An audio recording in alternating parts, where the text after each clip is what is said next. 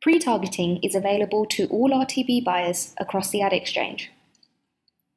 Pre-targeting is a filter tool to let you filter your callouts. The ad exchange gets a large volume of callouts, and it's more than what most bidders can receive.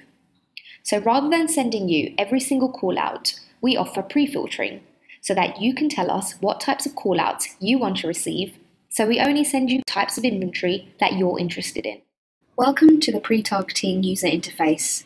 On this page, you'll see a number of different tiles, or as we call them, configurations or targeting units. You'll be able to add, edit, or delete individual configurations. Today, we are going to add a new pre-targeting configuration. So let's say we wanted to only target YouTube video inventory that's skippable in stream on mobile and tablets all over the world except for China and Japan. So we're going to go ahead and create our new pre-targeting configuration. Firstly, we're going to define our configuration name. So we're going to call it Campaign YouTube Skippable Mobile and Tablet.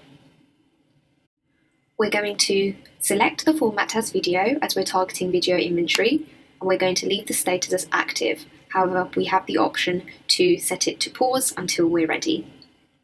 As you can see from the left hand side, there are a number of different dimensions that we can choose for pre-targeting. By default, we send you every single call out, so we're going to show you how to include or exclude certain dimensions. As our campaign includes the whole world except China and Japan, we want to exclude this. So we're going to select Geography from the left hand side, search for China, and exclude. We repeat for Japan.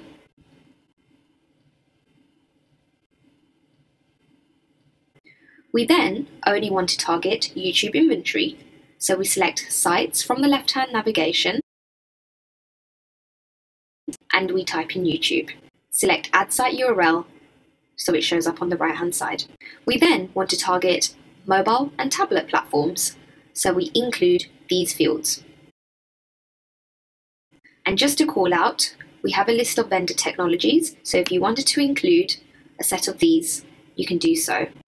We also have creative size as an option to use for pre-targeting.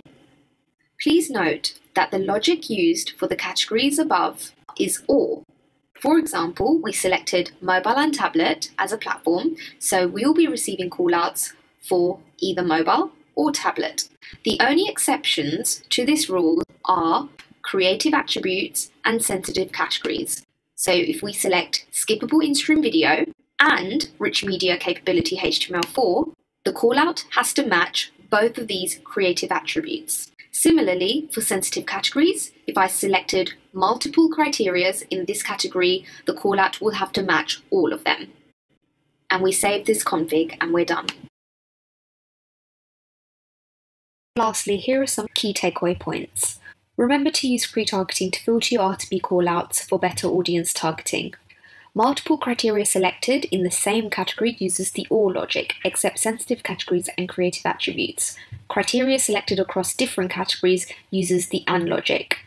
And finally, start pre-targeting today via google.com forward slash adx pre-targeting.